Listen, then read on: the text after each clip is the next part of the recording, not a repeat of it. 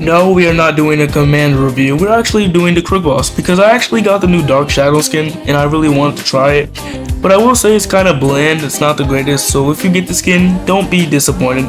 But anyways, as always, love you guys. Chromeo. Let's get started with the video.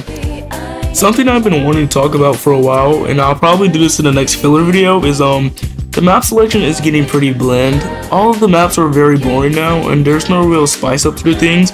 Maybe I should get a private server just for the community maps or whatever, but that's something I just want to talk about really quick. Starting from level 0, the Crook Boss is already a really good tower as it can one-shot all of the normal enemies and the speedy enemies, which gives you a lot of time to farm. These things pretty much carried me until wave 14 to 15, and they really are good. I only placed 3 of them, and I probably would have lasted longer if I placed more. Crook Boss's third level is most likely the ideal level for Crook Boss, and this is because the damage and the price kind of triples from the previous upgrade, but this tower in total isn't really expensive, it's just generally its the last level that's kind of expensive, which I really don't like, which is why if you're using this, I suggest going for level 3. I placed a DJ so I didn't go broke after maxing out my Crook bosses, and then I placed a commander on later waves. One thing I did notice was that neither Crook boss or its Crooks itself could actually handle bigger enemies, which really sucks, but it kinda makes sense.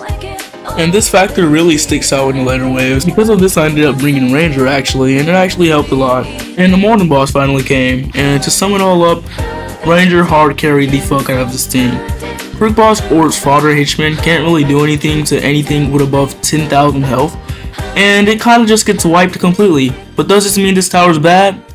No. Unlike the useless piece of shit that Trapper is, Crook Boss actually has something going on for for early game, and I'd even say mid game too. And the golden version is probably definitely way better than this, but that's all I wanted to say. If you're a new player, definitely check this guy out. Have a good day.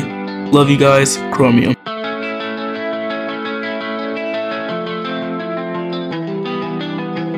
Gotta go, gotta go, gotta find my own way. Gotta go, gotta go. I don't have time to stay yet. I'm on a mission. I told the genie I'm tired of wishing. It's time to go off of my intuition. I cannot sit and just wait for.